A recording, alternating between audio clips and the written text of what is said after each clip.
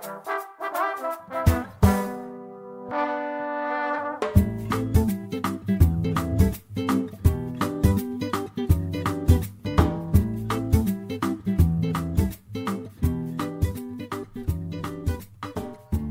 to the Cannabis Cultivation and Science Podcast. I'm your host, Tad Hussey of KIS Organics.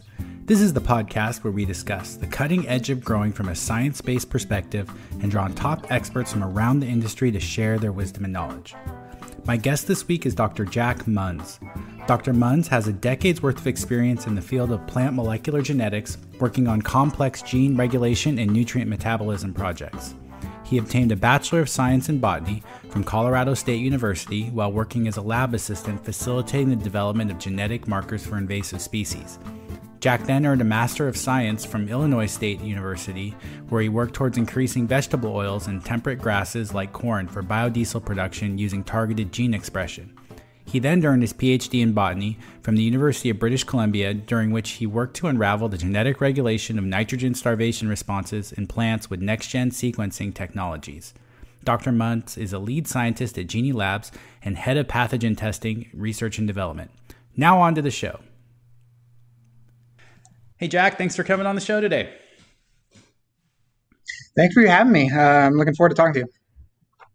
Yeah. So, uh, if you could give listeners a little background into uh, your your personal history and uh, Three River, Three Rivers Biotech, uh, why don't we start there? Absolutely. Um, so, my background is plant molecular genetics. Um, so, I've been doing this for over ten years now. I've worked on a number of projects. Um, I started working uh, undergrad at Colorado State botany, and then went into uh, genetic projects working on biodiesel and genetic engineering of crops for, for biofuels. Um, so during that, just a wealth of, of genetic techniques that I learned. Um, finished my PhD at uh, University of British Columbia, and then took on a job with Three Rivers Biotech to develop um, genetic diagnostic tools uh, for cannabis pathogens, um, pathogens in general, um, in addition to sort of genotyping of cultivars for sort of genetic identification purposes um, for our tissue culture programs.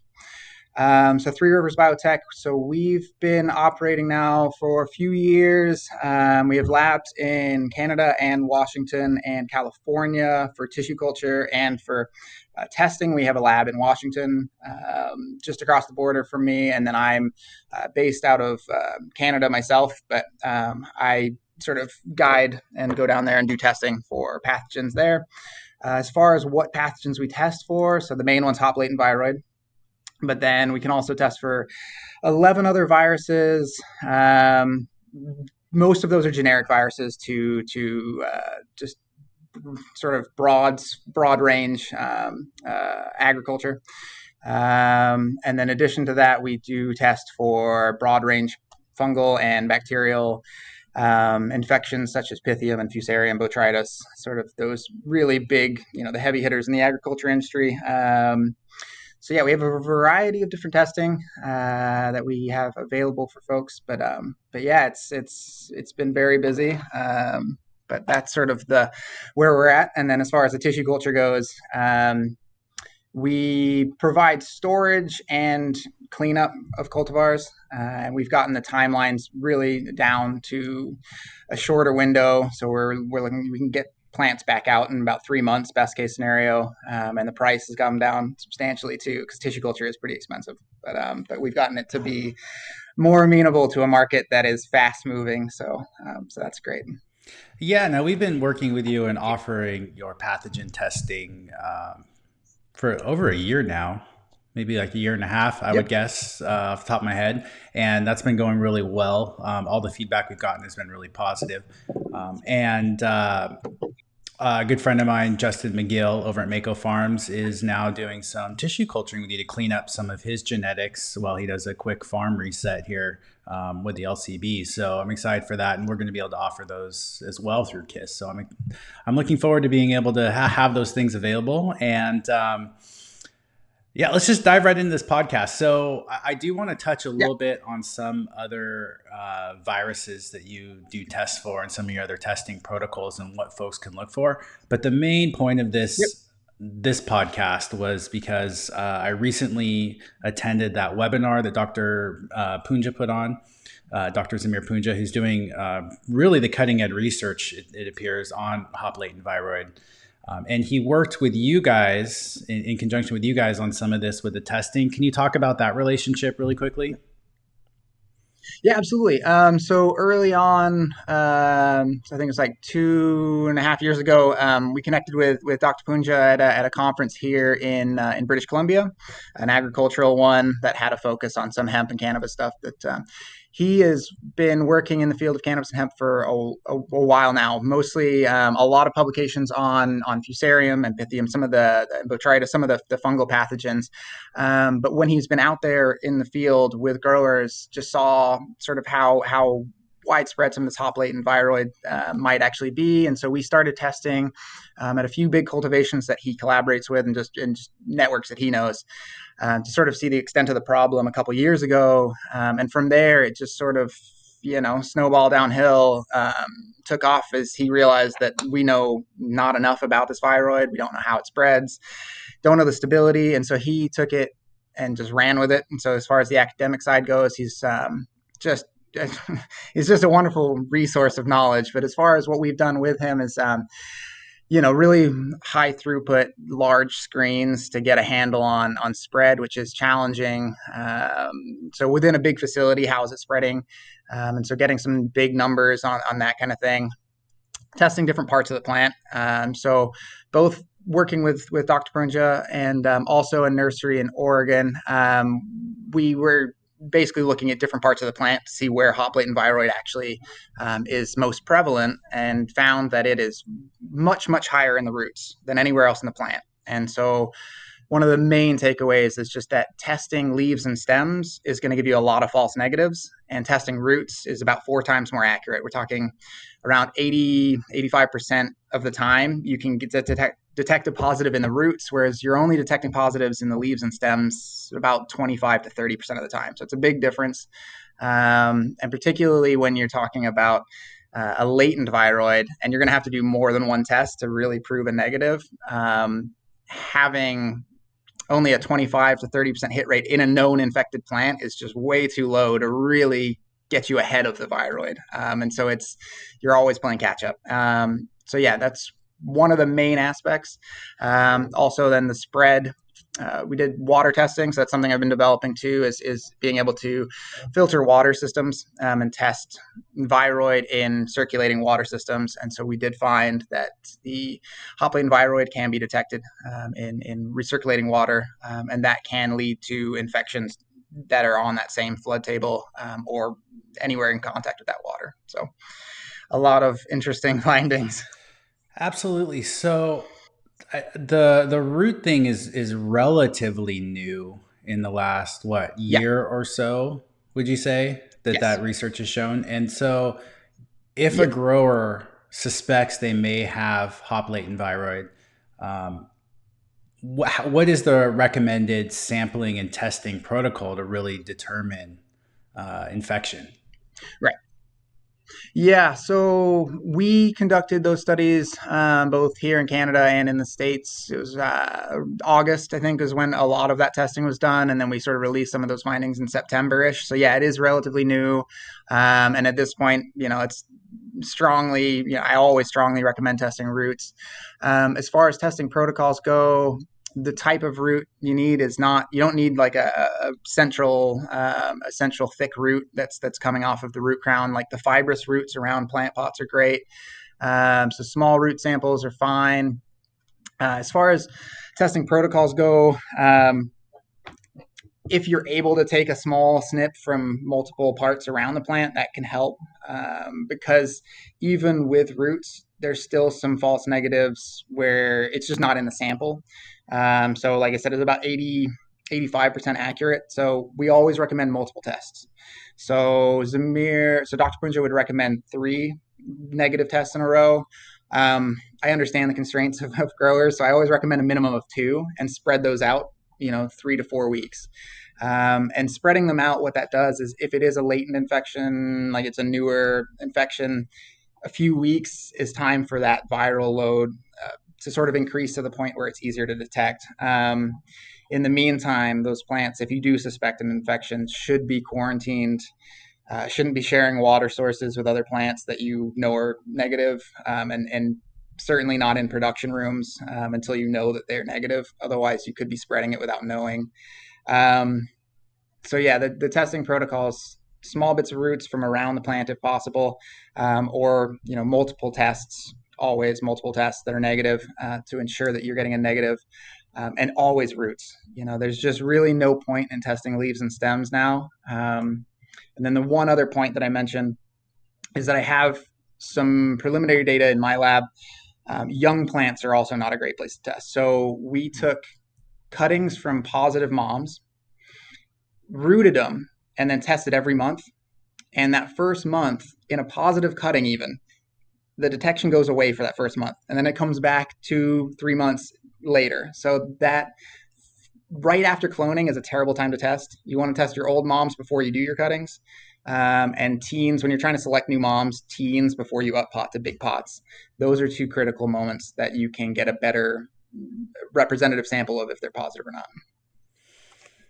That, that's important. And how much root mass do you need to actually uh, do a sample or a test? Right. Yeah, very little. So yeah, our testing, um, we're talking about a centimeter of fibrous roots. Um, so the actual mass, if you were to weigh it on a scale, um, about 100 milligrams is sort of the upper limit. So very small amount of tissue is needed. So these um, molecular amplification tests, um, too much sample can actually overload it. So if you have too much genetic material in a in a reaction, a PCR reaction or a LAMP reaction, it'll actually cause it to fail. Especially um, in plants, there's a lot of junk um, cell walls. So plant material is more challenging than, than humans or animal material to extract RNA from because of the cell wall. It's a complex mixture of pectins and carbohydrates and lignin, and, and that goop can really interfere with PCR and uh, other methods of nucleic acid amplification. So um, the sample size is better if it's in that smaller range. Uh, so yeah, we need very little amount of root, and we want it. You know, if, if you can take it from the, the periphery of the plant and just be as least invasive as possible. Um, that's great. Um, and then, yeah, I mean, if you're able to take samples from around the, the pot, um, you can get a better sort of representative sample. Um, so you can take like a centimeter from around the pot. Um, the maximum we would suggest is, is maybe five centimeters of thin roots. Um, and then beyond that, if it's beyond that, um, it can cause a, a, reaction to fail. So we don't like to, but if we have to, we have to pull some of the sample out, um, but preferably not because we like to keep everything in one tube. Um, that that was my next question. Was if we send you too much in a sample, you you will adjust it appropriately for a better result. It sounds like. Yeah, yeah. I mean, sometimes I'll flag it. I mean, if it's a you know, it's it's really really a headache to have to adjust the sample volume um, okay. because we have to do it in a, in a controlled fashion that I don't, you know, I, I can't risk it contaminating anything else. So I have to take it to a separate bench and it's a lot longer. Um, so our turnaround time, so when we receive samples, we can turn around results to you within 24 to 48 hours during business days.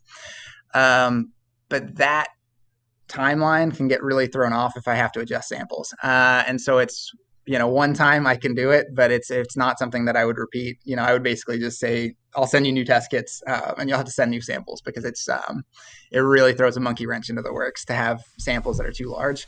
Uh, and it doesn't help. It really doesn't. Um, the larger the sample like i said it can cause failure in the in the reaction. Um, and if that were to happen i can then dilute the sample and try again. But um, the small yeah, i mean we're talking a small sample of, of, of, a centimeter is, is millions of cells and each one of those cells presumably has millions of copies of the viroid. Um, these are really really really sensitive methods. So if it's in the sample we will find it.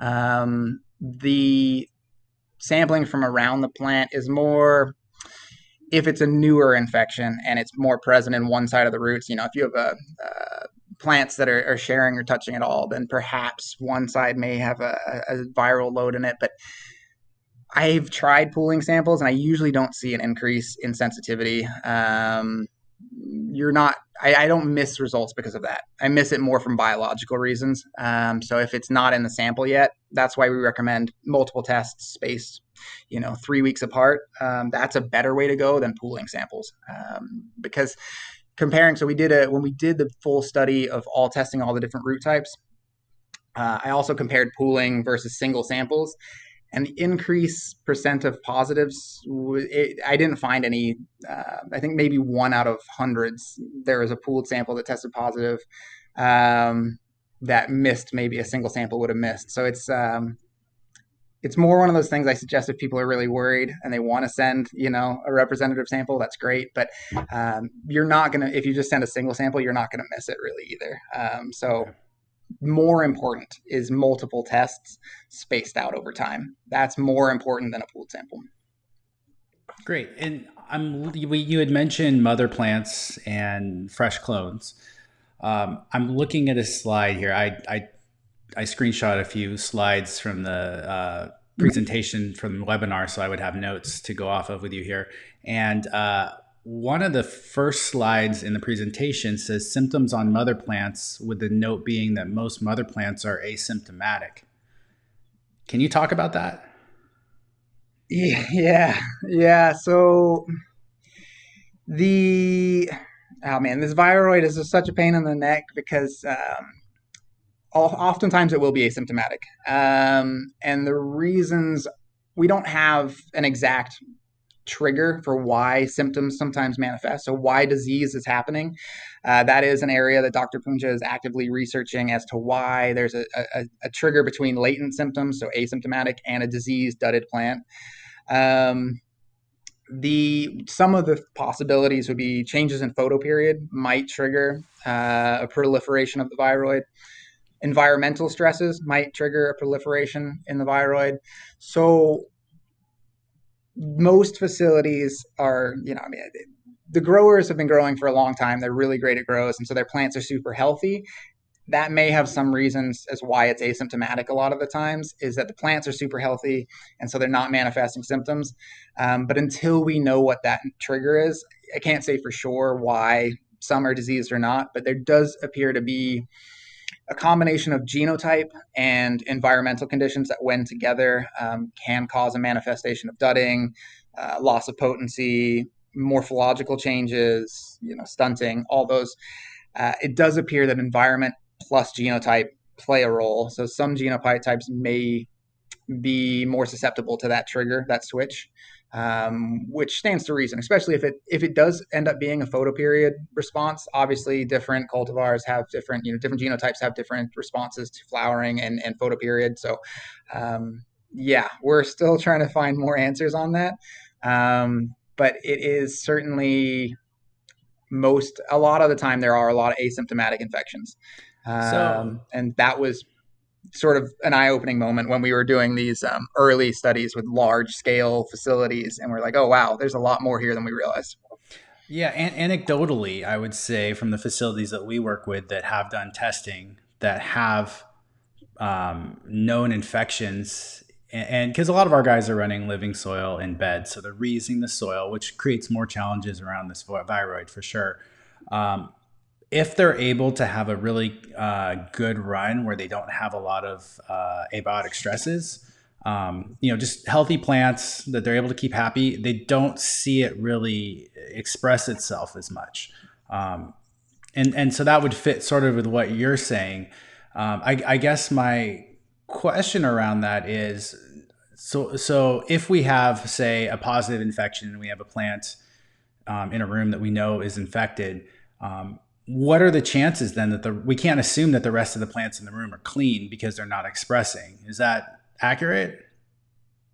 That's accurate. Yeah, unfortunately, it's no different than any other, you know, viral outbreak where if you think there's been close contact, um, those plants have to sort of go into a quarantine mode where you're yeah, you have to. You the only way to know is molecular testing, especially when it's asymptomatic. But even with symptoms expressing, to rule out you know any other cause, um, molecular testing is the only way. I mean, there's no way to walk into a facility, look at a plant, and say that's for sure, without a doubt, you know hop latent viroid. The only way to know is testing. But yeah, in that situation where you have a positive plant and you have other plants that are really you know, anywhere in that room facility out you know grow just in general.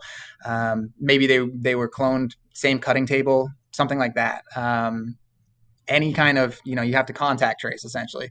Um, and from there the only way to know is is, is testing. Um, so yeah it's sort of yeah it's pernicious. I mean it's and it's a very stable viroid too so it actually can last on surfaces for weeks. Uh, and that's another area of study that, that dr punja has been been working on is just how stable is this thing. And that's not uncommon for viroids. Um, they are just by their nature they're these small rnas that form it's a, a single-stranded circular rna but it forms a complex where it binds with itself and it, it basically is this really tight organization that it's really hard to degrade, um, both by just all the normal things that degrade viruses and, and DNA in general and RNA in general. Um, it is really stable. It's surprisingly stable. So that's the unfortunate reality of, of viroids. Yeah, so let's touch on that a little bit. Um, yep. You, some of the recent research shows that heat is not a treatment option with this viroid from what I understand. Yeah, um, it's it's like really high heat. Um, so so okay, so we're still working through that on hop latent viroid specifically. So a lot of you know what I, I look to when I get sort of rough numbers is is something like potato spindle tuber viroid. Sorry, potato tuber spindle viroid. I always get those two mixed up. Um, the, the word so PTSVD. Um, that is one of the well-known viroids that has had a lot of studies on. It was, I think, the first one that was identified back in the 80s, but it wasn't until molecular te- genetics techniques caught up that they were able to detect what a viroid actually was.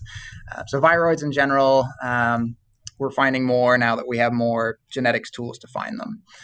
But that viroid, potato tuber spindle viroid, they have shown they have excrete like really really high resolution electron micrographs, um, so microscopes that can see at that level. Um, when you heat up the viroid, that tight structure it forms, it does start to pop back into a circle at around 70 Celsius. Um, so there's some opportunities to make it more susceptible to degradation at really high heat. Um, but to actually just degrade it, just just bar none, it's done. It's not no longer infectious. Yeah, heat is not looking to be super applicable, um, unfortunately. So, uh, just for those that said, I mean, like you know, at certain yeah, certain temperatures, it can start to lose its form. But for those of us stuck with an imperial system, um, 70 Celsius converts to 158 degrees Fahrenheit, oh, which is you. really yes. tough temperature yeah. to reach in a lot of grow rooms um, safely and with HVAC it's, equipment. So yeah, just want to throw that. Yeah, it's more it's more applicable to like recirculating water systems where you could heat that water up to a really really high temperature. But even then, some of it still might get through um, because it's not. It's maybe it's losing its structure temporarily, but then when it cools back down, it yeah. So this was more of a when we were thinking about that with some of this testing, um, it was more directed towards recirculating water and how you can sterilize it coming back through. Um, and it's yeah, it's gonna be it's gonna be a challenge. So other other options are uh, twenty uh, percent bleach. I'm, I'm looking at the notes here. Um, twenty percent yeah. bleach, Virkon. Um, how well do oxidizers work? Um, hydrogen peroxide right. based products. Um, okay, so yeah, again, working through this stuff, and and and Dr. Punja has more probably hop latent specific information that he's going to release when he's ready. Um, but in general, what I can tell you is is he knows that Virkon S, so two percent Virkon S is the most effective, um, and that tracks with other viroids. Um, so two percent Virkon S is the most effective. Next up would probably be ten percent bleach for three to five minutes, but you know, obviously bleach stinks and it corrodes your your your uh, pruning tools. So I recommend bleach because it's just something that everybody knows and it's common, um, and that's typically you know it's pretty standard to use bleach, uh, ten uh, percent at least. Now you said twenty, so um, if that's you know Dr. Punja's recommendation, then yeah, it might it might take twenty percent to really be effective.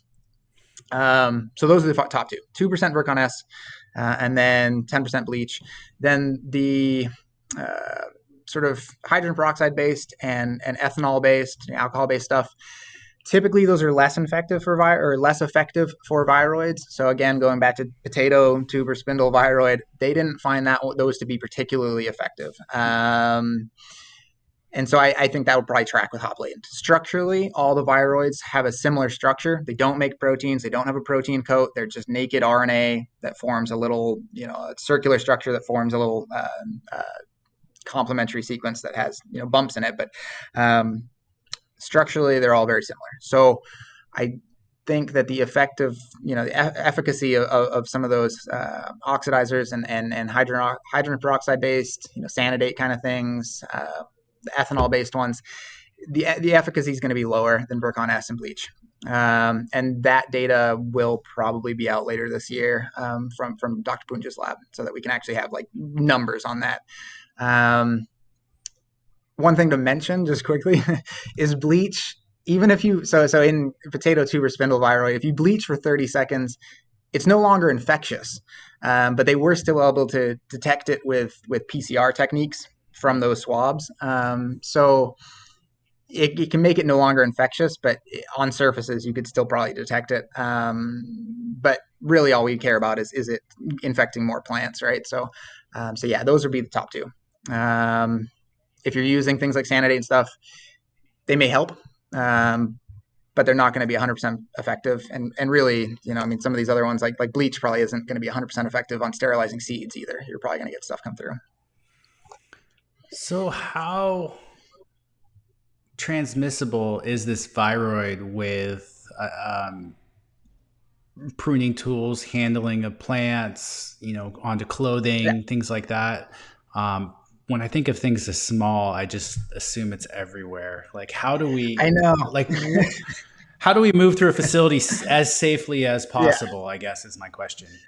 Yeah, I know. When you can't see it, it starts to feel like it's everywhere. Um, not don't be too worried about it uh, as far as like gentle touching. So clothes and walking through facilities and handling of plants, the transmissibility is going to be low. Um, airborne, there's no evidence of it being airborne.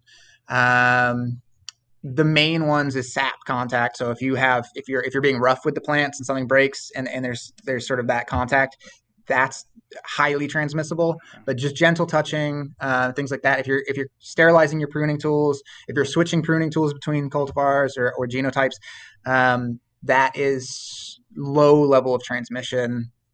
Uh, I think some of the, the main areas to focus on is just the infected clones from infected moms. So once a mom's infected, you should just assume all the clones are going to be infected. I've done some studies um, so as I had mentioned, the roots are the best place to test. So we found some some so in the very large scale study, we had six positive moms, and we took a bunch of clones from those, uh, and we tested the cuttings of those clones, and the cuttings came back negative. Mm-hmm. Now leaves and stems having less viroid. So then we rooted those and tested those for six months every month, uh, and most of them did stay negative for those six months but that doesn't necessarily mean they won't come back positive eventually.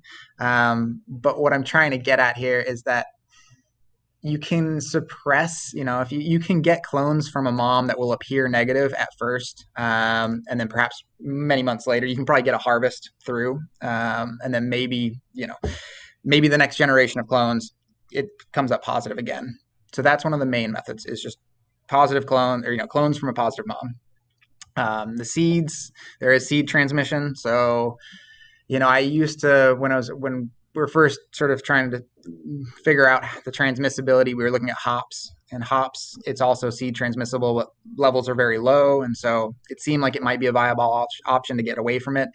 But seed transmission in cannabis is somewhere between 5 to 30%.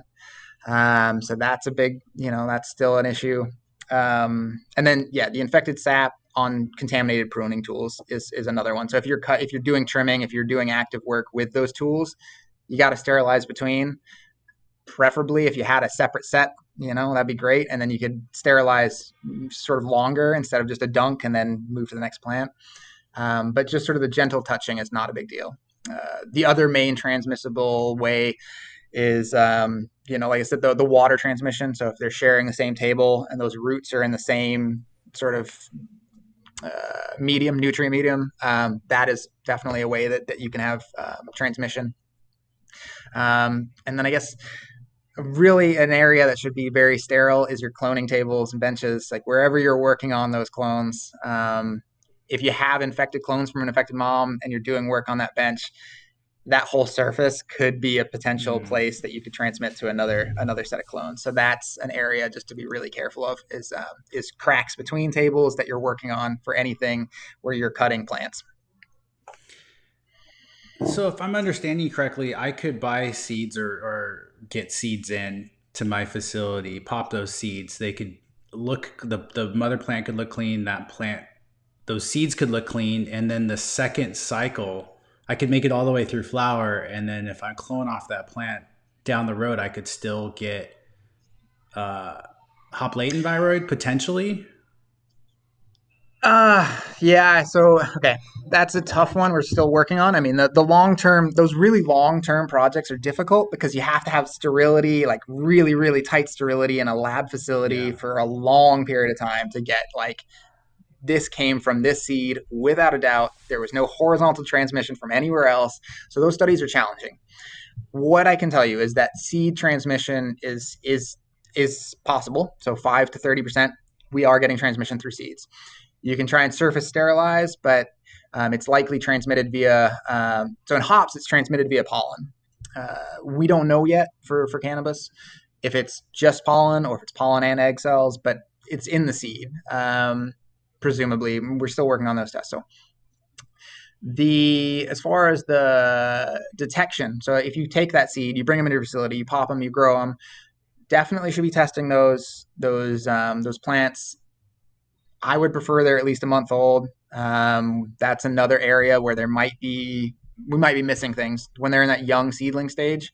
Um, it seems like the hop latent can basically hide from detection. Like we've sampled a bunch of seedlings, and that specific stage of development in the plant, it, it seems to be able to suppress the viroid, and it's not until it's older.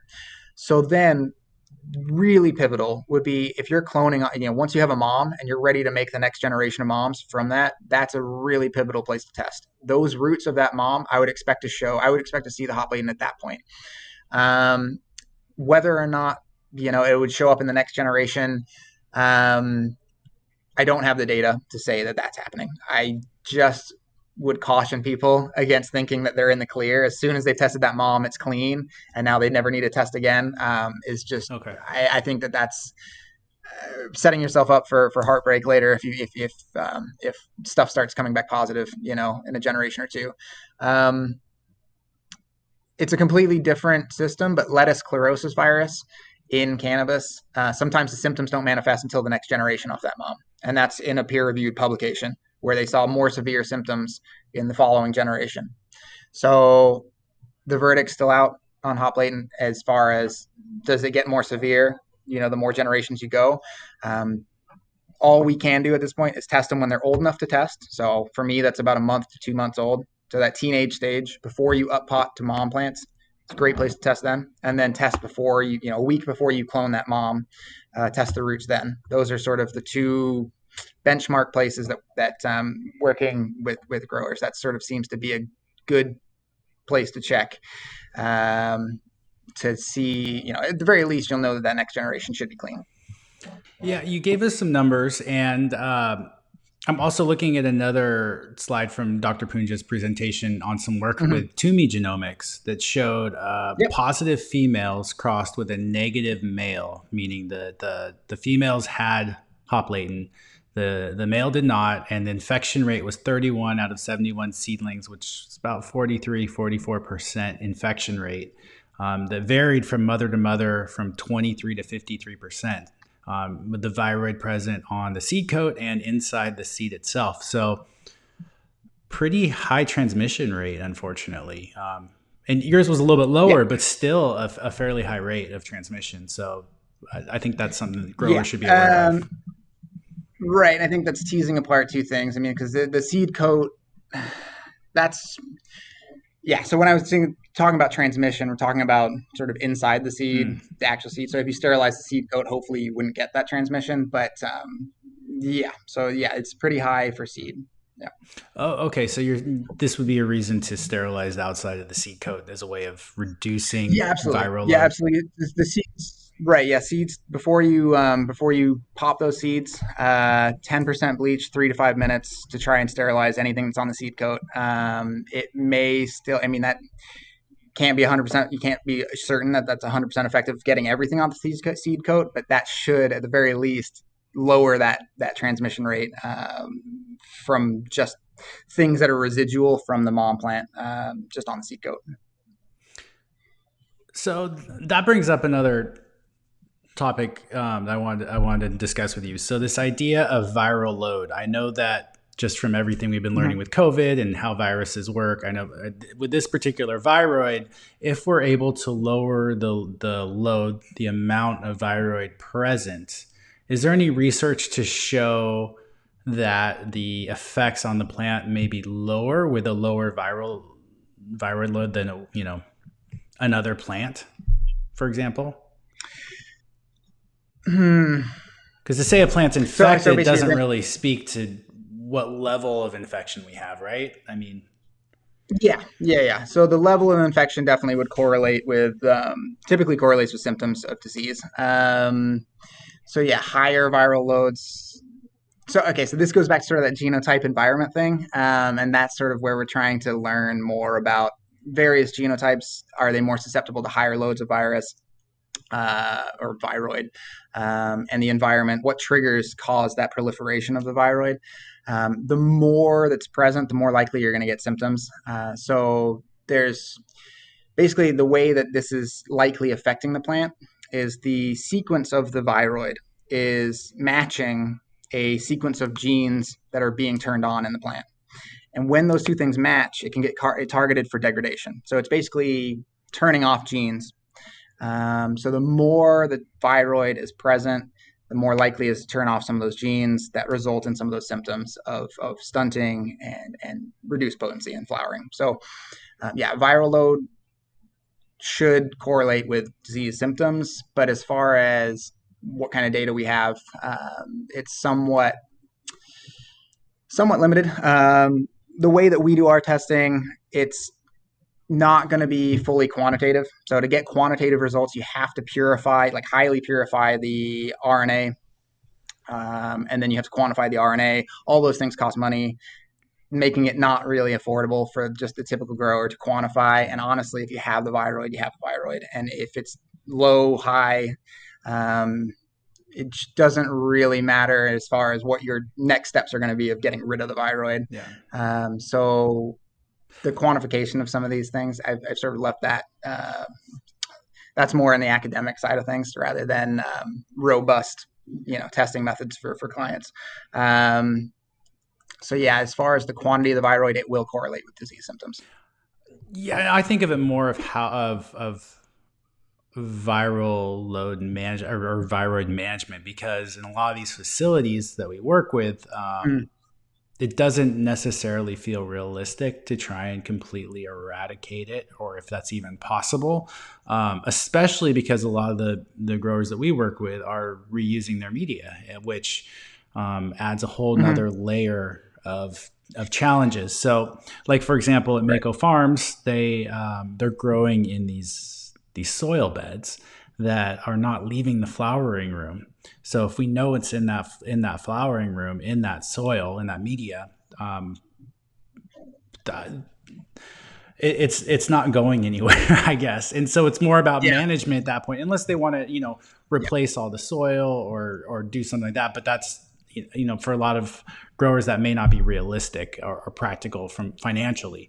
Um, so that led me to what sort of cultural practices can we adopt to reduce viral load, such things as removing as much root mass when we go to harvest as possible versus leaving that root mass in, would that potentially reduce the amount of viroid present in that media? Does that make sense? Yeah. Yeah, it does make sense. That makes a lot of sense. Um, so yeah, you're right. When you're using living soil and you're you're you want that those nutrients back in the soil, um, most certainly the more we learn about management practices, certain you know genotypes that may be more resistant to actually seeing the pheno, you know the the, the disease symptoms, um, the more we learn about environmental triggers, those are obviously going to be really important for those grows.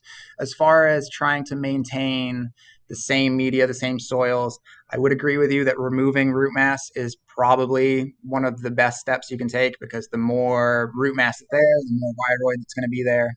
Um, so yeah, that is one very you know practical step that you could take. Um, it's unfortunate because obviously you'd like to keep sort of some of that in the media, um, but yeah, I mean it's really all you can do, right? So um, as far as those kind of management practices, removing the infected material is is probably the best you can do.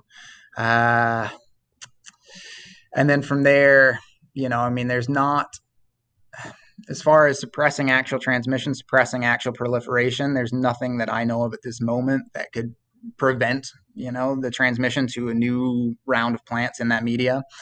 Um, and going back, you know, the heat treatment is not applicable. So it's it, at this point, I don't know how else you would be able to sterilize that media or just prevent infection. So as far as management practices, I think yeah, maybe the only practical thing you can do is remove some of that root mass after that, that those plants are harvested. Um, and then starting with clean genetics, you know, when you when you reset, if you know, if you can, if you're able to reset, and just starting with things that are clean. Um, as far as natural transmission, uh, we're still working on some of those methods. You know, I mean, so presumably uh, insects that have piercing and sucking mouth parts, you know, thrips um, and uh, aphids potentially could spread hop latent. But where they would get that from, if you have a you know if you have a farm that's all clean stock, um, that is still an unknown, right? So um, where hop latent viroid may be introduced naturally or, or outside um, is still not something we have data on. So if you started with a you know if you're doing living soil, you start with clean stock, start with clean media, and then you'll be hopefully you'll be safe for a while um, because I don't know of how else you'd introduce it into your crop. So that's well, let's just say we know, we know, get it in a facility. So I know I keep throwing my buddy yeah. Justin under the bus in this podcast, but he's been the best case for us of working through this. So um, if we know we have clean stock because we yep. tested um, and we know we have clean mothers we know we have an infected flower room where those beds have media that had active, you know, had viroid in there. Um, that would be a great way to reduce viral load on the plants themselves. So knowing they're coming in clean, they're yep. only going to have 55 yep. days of exposure to this viroid and potentially yep. uh, less of an impact on our final crop, I guess, is where I'm headed with this. Correct. Yeah, correct. Um, yeah, and so going back to a previous study that we had done where we took cuttings off of, of, a, of a, positive mom, and those cuttings stayed positive for six months, um, and then I think only one or two came back positive later after that. Uh, yes, so if you go in with clean stock, it'll stay clean for those that that harvest, that 55 day harvest. I maybe maybe some get infected, but it, it would be minimal um, as far as what I've seen. So yeah, if you're going in with clean stock, even if it's going into that infected soil, while they may get infected, they may not show symptoms, uh, and that viral load is correlated with that. So, okay. uh, as far as management practices, if you're able to, yeah, if that's if that's a practical solution for you, yes, that, that would help reduce the viral load and subsequent symptoms and bad harvest. But we would want to be careful then when we're harvesting not to go back through any vegetative spaces or have any contact with vegetative plants, um, just to reduce that potentially circling around, right?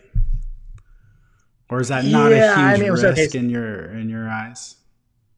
Well, okay. So if you're, I, I just need to make sure I understand the question correctly. Um, so if you're planning on making a new generation of plants from that set, no. So is that plants coming into the flower room are clean? We go to, but once yeah. they're in the flower room, let's say they're now infected or dirty, um, we want to make sure that that harvest is going out a separate way not coming back oh, through yeah. our our our veg space um, or our cloning Absolutely. space. Yeah. Um, and so just yeah. people should have SOPs around that, making sure that we're keeping things as clean as possible. And that would be good for any viroid or pathogen or yeah. pest in general, um, just as best right. best practice. So. Yeah, no, absolutely. Um, yeah, so keeping that chain um, moving one direction, um, even with cured dried flour, uh, yeah, it should not ever come back um, to those earlier stages of, of, of growth.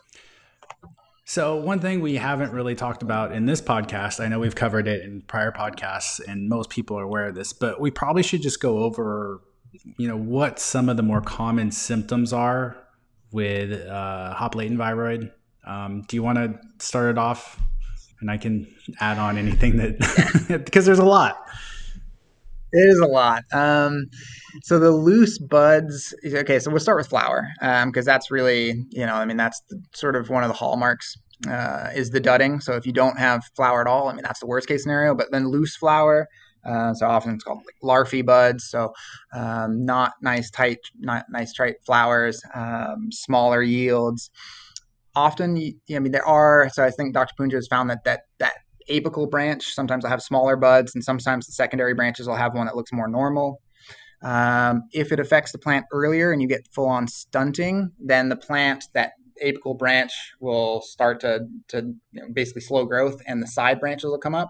So you get sort of a trident looking plant uh, or a candelabra. Um, so lots of lateral growth uh, brittle stems. So if you just walk by and hit one and it just flops off the plant, that's a really serious symptom. So that's that's a hallmark of, of hop latent. Um, there's some correlation with leaf morphology. So we are seeing some interesting leaf phenotypes that I had not previously known as associated with, with hop latent. Um, some people have yellow yellow leaves towards the crown. Um, and then the main one is your, your COAs. So that if you have asymptomatic plants, but your COAs are dropping, you know, harvest by harvest, and that can also be a sign that something's going on uh, regarding hop latent. So the potency, um, the reduction in potency, it, it, can be severe. You know, it can be like 50% or more. Um, so those kind of things are all hallmarks. Um, some anecdotal ones, some poor rooting. So in clones, uh, if you're getting really poor rooting, that can actually be a symptom um, that we've noticed. Uh, given where we're finding the viroid, that's not really too surprising. So some of that can actually be seen early in in when you're rooting clones, and so those would be probably the main ones um, that come to mind. I, you got all the ones that I had from the presentation. I was going to add to it, but I think you nailed them all. uh, the one other thing would be that uh, you may also have increased susceptibility if you have a hop latent positive plant to other pathogens. Go ahead. yeah, yeah. So this is this is um, so as I mentioned, um, Dr. Punja's been in this field for a long, you know, and in the field of cannabis and hemp and, and lots of other pathogens, uh, mind you, but um, and, and different crops too. But um, specific to his research in, in cannabis and hemp, um, fungal pathogens, uh, he is just a worldwide expert on that. Um, and what he has found is that there is an increased susceptibility to things like fusarium um, and other root pathogens. Uh, when you have a hop latent viral infection. Um, so it sort of can spiral out of control, right? So, and this is pretty sort of a general rule that when the plants are diseased with one thing, it kind of leaves them susceptible to other diseases. Um, and that's just sort of, you know, it can only fight so many things at once. Um, I, I, hate to bring this into it, but there is some evidence, and I, we don't have this in cannabis yet, but there is some evidence that these viroids, um, specifically hop stunt viroid and a few other viroids, can actually replicate in some fungi, so like fusarium, um, and then they can actually horizontally transmit. But we don't have that as evidence for cannabis yet, so I, I really want to make sure that big disclaimer is there. Um, but there is some very interesting research going on. Uh, so right now, there's 33 viroid species out in the world that we know of. I think three of them have been shown to have horizontal transmission with various fungi. Um, we don't have any data for hop on that yet, but um, it is an interesting sort of you know natural transmission possibility um, that that uh, these things could actually be replicated uh, in a fungi and just kept alive in a fungi and then you know be transmitted horizontally that way which would be not fun not a fun way so so I'm sure there's going to be more research coming out um, mm. sooner than later because this is such a devastating, uh, devastating disease. And I do hope to get Dr. Punja on the show eventually. He's just yeah. been really busy. Um, but I know I know you're in contact yeah. with him, and, and you did a virtual introduction for me, which I appreciate. Um, yeah. But in the meantime, um, while we're you know until we get more research, I feel like you covered that all pretty well. What other viruses are you really seeing or other pathogens as being more prevalent in your lab with the testing that you're doing in cannabis specifically? Yeah, yeah I mean, so we do really broad range pathogen detection as far as viruses are concerned. So the things that affect a lot of crops, you know, the mosaics like alfalfa and cucumber mosaic and, and, and tomato mosaic, those aren't that common. We find those very rarely. Um, they can infect cannabis, but typically I only recommend those on a case by case basis. Um, the main ones that are more more prevalent would be beet curly top virus. Now that's more outdoor grows. Um, so Dr. Uh, Punya Nachappa at Colorado State University really great research on beet curly top virus. Um, the southwest is where the natural transmission vector overwinters. So um, that's beet leaf hoppers. They typically they they overwinter in like New Mexico and then they travel um, up into Colorado. So that's outdoor grows, really susceptible to beet curly top. I have seen it as far I have seen it in Washington, um, and that's not unusual. Uh, beet you know, sugar beets are affected by beet curly top in Washington and Oregon. So um, that is a possibility. So beet curly top. The symptoms there's three different strains of beet curly top, and it can range in severity. Um, so the symptoms can be a little different depending on what type of strain you got. The one that I saw was really twisted growth, um, swollen leaf veins, and the leaf pulls down like there's a drawstring in it, um, and the, the the branches curl. So the symptoms can be really stark on that one um, and it may only affect one part of the plant. So this plant, it was like one branch was all curled, and then everything else was fine. But um, you can detect hmm. curly top anywhere in there. Um, so that one is one to to watch out for. And I mean, that one, I don't think um, the data so far says it's not me- mechanically transmitted. Uh, it's a DNA based plant virus, which is the smaller. Most plant viruses are RNA based. DNA based plant viruses only account for about 25%. Um, and I think that its life cycle needs it, it doesn't uh, mechanically transfer well. So um, that one's not as big of a you know a spread problem. Um, but outdoor grows, yeah, should be worried about that. Lettuce chlorosis virus is another one. Uh, originally, lettuce chlorosis virus was identified in lettuce in California, um, but it was found in cannabis facility in a really well done peer reviewed article, uh, I think in 2017 or 2019 from, uh, I believe it was Israel but yeah, they um, hmm. have symptoms of you know, chlorosis, so yellow plants, um, reduce the yield, stunting. Typical with most viruses, stunting is kind of a, a, common theme. Weird morphology things. So those would be the two that I think a lot of people look to test for: is beet curly top lettuce chlorosis virus. Um, so far, no symptoms have been correlated with tobacco mosaic virus.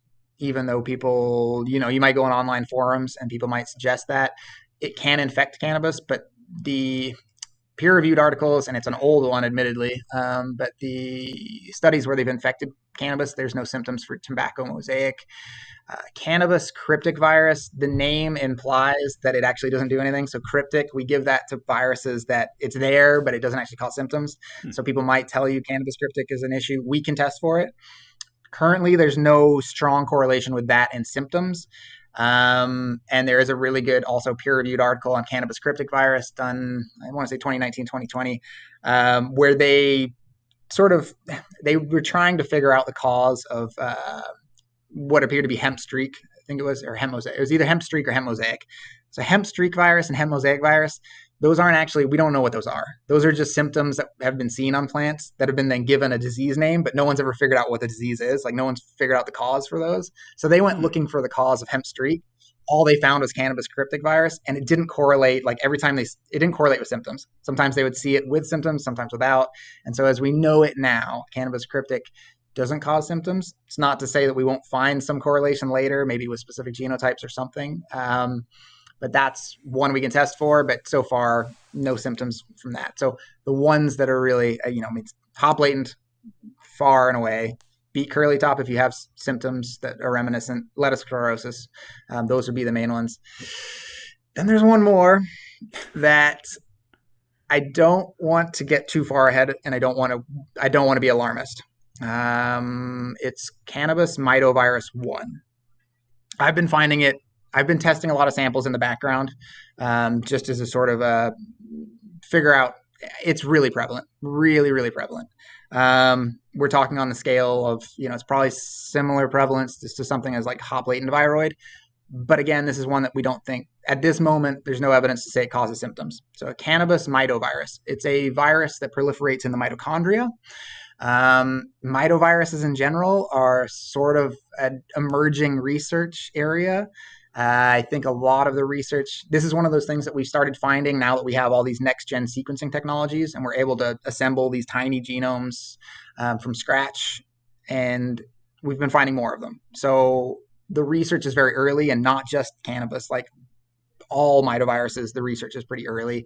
The only one that has any sort of empirical data is uh, one that affects quinoa plants they don't find symptoms, but they they have found a correlation with increased immune response. So the plants are more ready to to to um, fight off other infections hmm. because it primes the immune response. So that's a lot of info. Um, cannabis mitovirus is probably prevalent in a lot of cannabis crops, but as of now, we don't think it causes issues. Maybe that changes. Maybe we correlate some symptom with it as of now, it's not something I'm like going out there and telling people, oh, they got to test for. Um, so that's sort of the lay of the land. Uh, the generic viruses are less common. Um, and then, yeah, it's hop latent far and away is the one you need to be worried about. Beet curly top for outdoor grows, lettuce chlorosis intermittently. Um, and then um, the cannabis mitovirus one, but that's not something you need to test for. It's just probably there. Dr. Punja gave some prevalence numbers in he terms did, yeah. of, but I I don't want to misspeak because I don't I didn't write that down. Do you he's remember seeing it? Yeah, so he's seen it around 90% of the samples he's looked at have cannabis mitovirus. I'm seeing more two thirds ish. Oh. But these are probably differences in sampling at this time. Um, I, I was thinking for hot you know, sort of, Sorry. Oh, hop latent. Uh, prevalence. Um, yeah. So that one, the numbers are. So I sort of think of facilities because once a facility is infected, it's sort of you got to make sure that your facility is clean and it's not spreading. So facilities, we're seeing it in like 90% of facilities, and uh, I can't remember what Dr. Punja's numbers are on this. So that one I don't want to. I don't want to say off the cuff. Um, the prevalence is yeah, for us, we're seeing it in like 90% of facilities. And, and the ones that we're not seeing it in, sometimes it might just be because they're not sampling enough. Like it's a few plants here um, and it's not sort of a robust testing strategy. So it's highly prevalent. Um, but as far as the number on cultivars, I don't have that off the top of my head. Yeah, I don't remember so either. But I remember he threw out like the num- the percentage in Canada that was infected, and it was that he suspected was infected, and it was. I remember it was hmm. over fifty percent because I was shocked by it. Um, yeah, how high over? Yeah, I can't yeah. remember off the top of my head, so I don't want to. Yeah, I don't want to misspeak, but um, it, yeah. it, appears to be and that, and, everywhere. Oh, and that's see, that's why I like to think of it as facilities because yeah, it, it is everywhere. One, but two, it's like um, if you were to say, okay, fifty percent of cultivars in Canada have it, or or America, or whatever.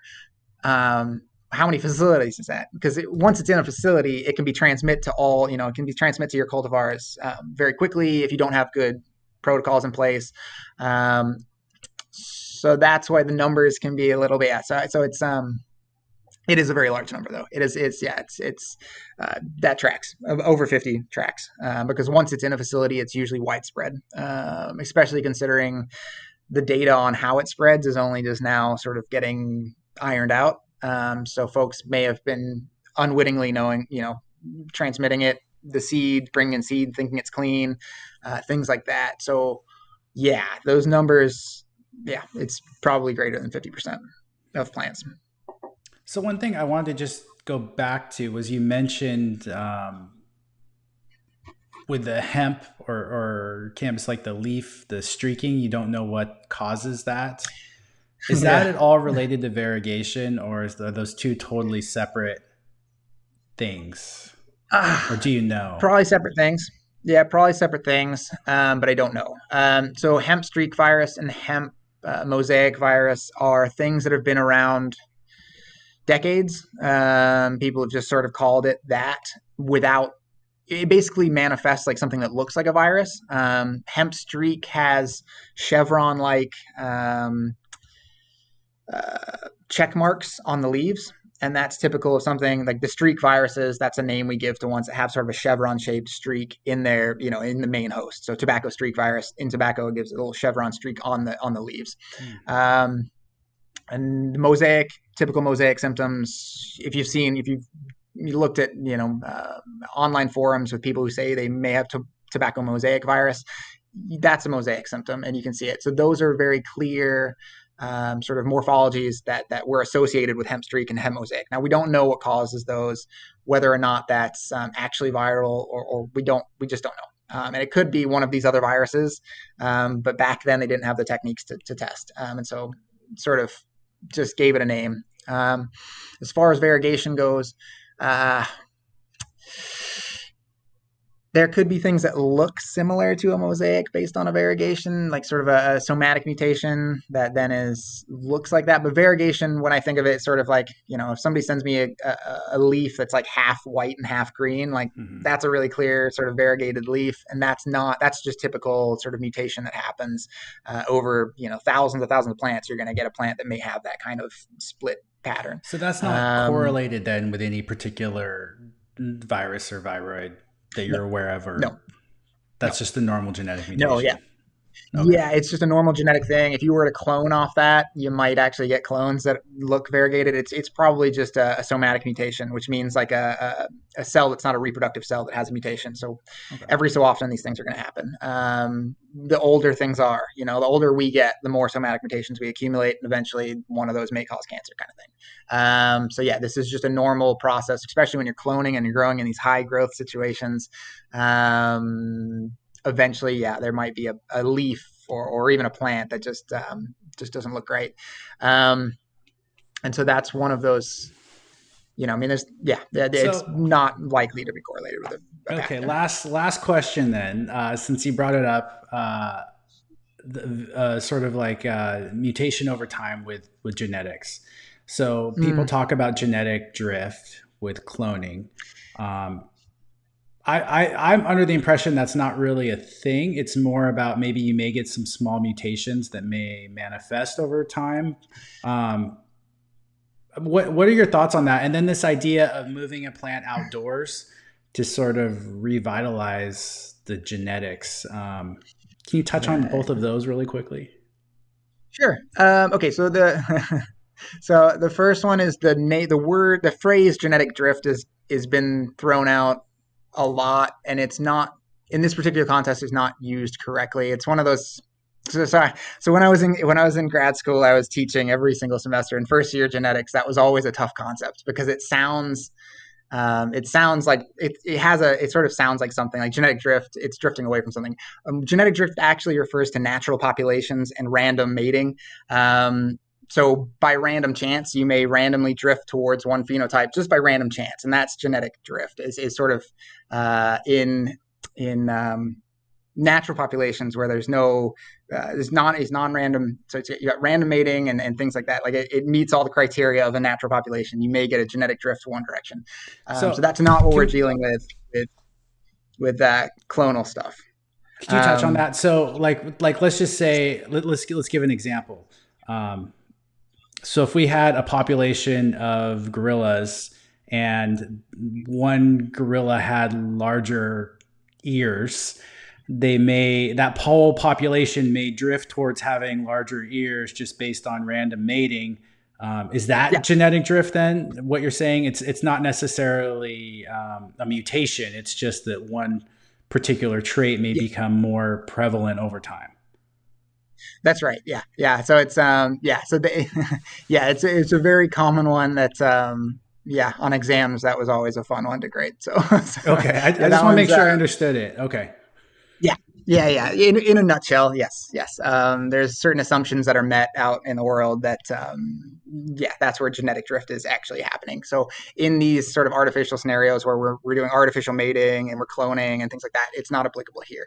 Um, but what we are talking about is that a, is that you have a genetic, you have a genotype that had a reliable phenotype, and over time that phenotype is changing, right? So that's sort of what we're trying to to discuss um, when we talk when when people are talking about that in this context. So that is um, over time you may get mutations that accumulate within that plant. And when you clone off that plant, Um, the next generation may have those slight variations, right? Um, so because it's because it's clonal, everything coming off that plant is going to be genetically identical, and then from that, you know, subsequent generations, these things are going to start to to snowball. You're going to get more and more of these somatic mutations. Um, it only affects it if you take a clone off of that mutation. But if that mutation happened early in that next mom's development, with every all those cells that grow from it are going to have that mutation. So the longer you go, the more likely that's going to happen. The longer I live, the more mutations I'm going to accumulate. Um, that's just the way it is. Especially now, the other, this part, the next part, the stickier part of that is that we, our DNA replication mechanisms get worse over time. So it introduces more mutations. Um, with clonal plants, I don't have, I don't actually know the answer as to that. Whether or not those replication me- mechanisms start to get worse subsequent generations or not, I think that they would. Well, I don't actually know the answer to that. So that's one of the issues is that if you have over time, if you have mutations that are occurring in the replication, you know, the DNA, then you're going to get more and more mutations over time. It's going to be less able to proofread those errors. The error rate for different organisms, you know, it's like one in a trillion cells, or you know, it's it's rare because there's proofreading mechanisms in place, but it happens because we're dividing, you know, trillions of cells to make a plant, you know, lots of cells, so it happens. Um, so that's over time how you're accumulating these these changes in genotype. The part about resetting outside also i mean i should probably preface that this is all speculation on my part because i don't have the data to, to, to, to, to go off of um, i've heard of this where you have a, a, genetic that's no longer performing the way it used to and so people put it outside to try and, and see if that resets some of what you used to love about that cultivar or genetic um, it's possible that something epigenetic, now these are modifications that are triggered by various environmental stimuli, it's possible that something like that could be reintroduced if you put it back outside. But I don't have any data to support that. Uh, so those are all anecdotal. I've heard people who take a plant that's underperforming, grow it outside for a generation, bring it, you know, back in or whatever, um, and it performs better. If you were to do that, I would recommend testing. Like make sure that you're not putting something outside, getting a pathogen, bringing it back in. Um, mm-hmm. So be careful of that. You might want to quarantine it when it comes back in. Just make sure that there's nothing pathogenic that you brought back in from going outside. Um, but I wouldn't rule out that being a way. I don't. Yeah, I have no reason to suggest that that wouldn't help you know, if people say it helps, maybe it does. I don't have any data on that. So um, there are some possible genetic mechanisms that could potentially be involved in something like that. So, um, just so I understand what you're saying, you're saying yeah. it is it's possible that by moving a plant outside, maybe exposure to sunlight, so something to do with photobiology, something to do with the microbiology interacting with the plant could potentially unlock something in those genetics that wasn't being unlocked indoors. Is that kind of a dumbing down yeah. way of saying what you're saying? Yeah, I mean, it's potentially. I mean, yeah. So different. You know, I mean, the light one I think is interesting because full spectrum light, photoperiod changes. Those, you know, those. I mean, I know photoperiod changes do involve epigenetic. There are some some some um, non-heritable changes in in gene expression that happen. Uh, boy, is it complicated though. So. Hmm it's one of those issues that I, I, I just don't have, you know, the, the data. It, it's a complicated phenomenon to begin with, but then to try and uh, and to try and um, say that I know one way or the other, I don't. Um, so if it works for people, it works. It's sort of where I'm at with it. Um, we do see. I will say this. Uh, so we, when we put a plant through tissue culture and it comes back out, oftentimes it is a much healthier version of what that genetic used to be. Um, and that could be a variety of reasons. It could be cleaning up, you know, just some un, unknown, you know, some some underlying pathogen or, or cause like that. It could be putting it into tissue culture elicits some sort of epigenetic change and it comes back out and it's healthier. Um, so, well, from my own personal experience, going through TC does help reset that. Um, people have said that that going outdoors and coming back can help reset that, and I have no reason to say that that. I have no evidence to say the contrary. So, um, the exact mechanisms for why, uh, I I don't know. Um, but it could have something to do with something like a non-heritable change like epigenetics, um, which are chemical modifications of, of the genome that make certain genes more or less likely to be turned on. Um, that's sort of epigenetics in a nutshell.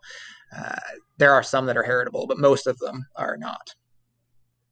Okay, for real, most that last, I know. Last question then, because I had one more.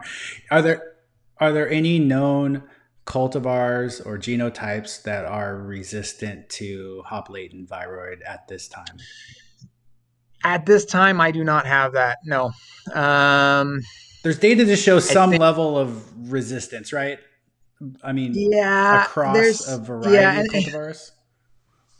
Right, and there, and there's there's also uh, a recent there's a white page by Medicinal Genomics uh, end of last year where they looked at the structure of hop latent viroid, and I had mentioned earlier that the way that it causes symptoms, or the way that we the, the, the leading hypothesis for why it causes symptoms is that part of the genome is a match for genes in the cannabis genome, and when I say a match, it's sort of like the yin. It's it, it's the, the, the mirror image, um, and when those two things come together, they form a double-stranded RNA that can be degraded. So it can basically change gene expression.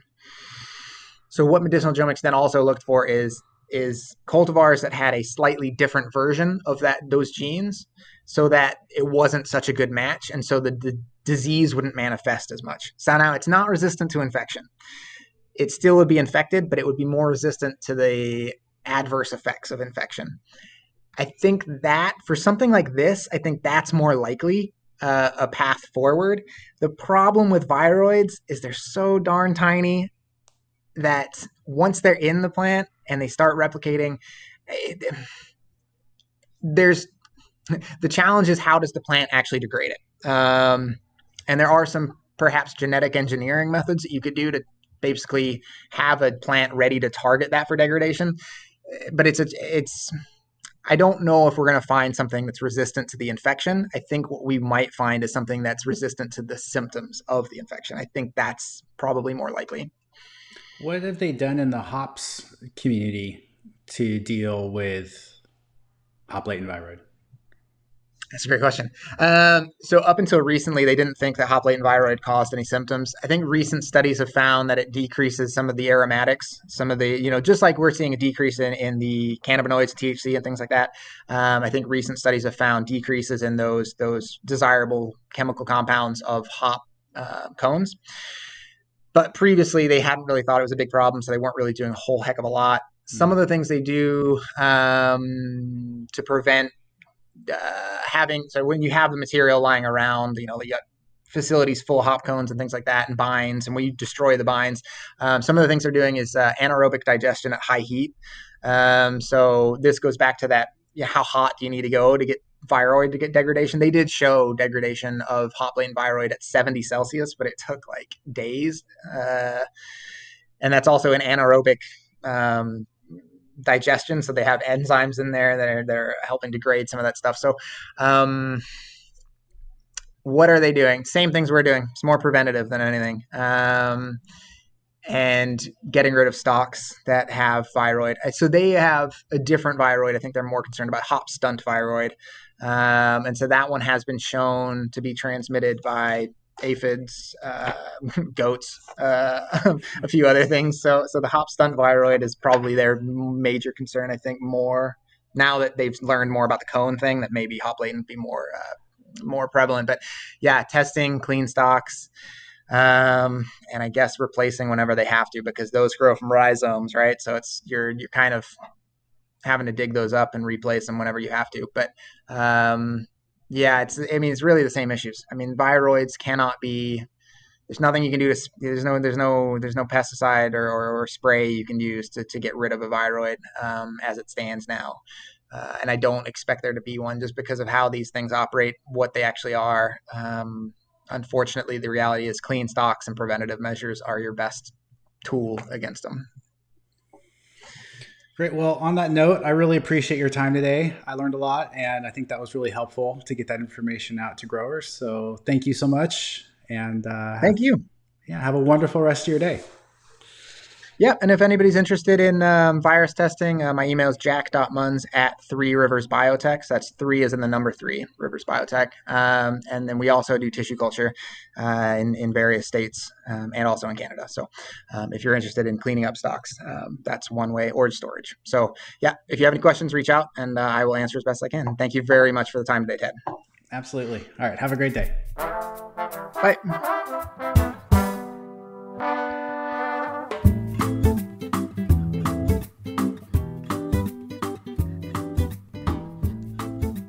That was Dr. Jack Munz, and you are listening to the Cannabis Cultivation and Science Podcast. I'm your host, Tad Hussey. If you like the podcast, please leave us a rating and review and give us a follow on Instagram. We also have a Patreon where you can get insider access to the team at KIS Organics through Hangouts, as well as earn some cool perks and benefits for supporting the podcast. Lastly, you can sign up for our newsletter on our website homepage to stay up to date on the latest research and information. Thanks for listening.